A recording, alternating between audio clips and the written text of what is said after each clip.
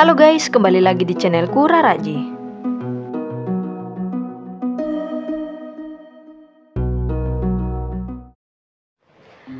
Scarecrow atau orang-orangan sawah merupakan salah satu item crafting yang didapatkan setelah meningkatkan keterampilan farming menjadi level 1.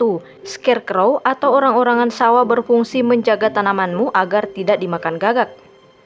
Namun, jika kamu yang masih bingung bagaimana cara penempatan scarecrow yang benar, mari kita langsung ke topik ya teman-teman. Setelah membuat scarecrow, taruh di ladang ya teman-teman. Lalu untuk penempatannya diperlukan petak tanah dengan ukuran 17 x 17 untuk dijangkau oleh orang-orangan sawah. Lalu, taruh orang-orangan sawah di tengah seperti ini. Kemudian petak dengan ukuran 17 ini kita bagi menjadi dua.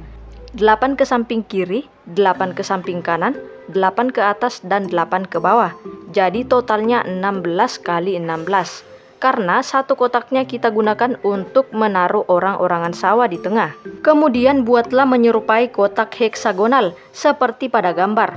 Mengapa demikian? Hal ini dikarenakan setiap lima sudut di setiap sisi tidak termasuk area yang dilindungi oleh orang-orangan sawah. Oke, simpel kan teman-teman? Oke guys, mungkin itu saja yang bisa aku bagikan di videoku kali ini. Tetap ikuti channelku untuk mendapatkan info-info menarik tentang game Stardew Valley. Thank you.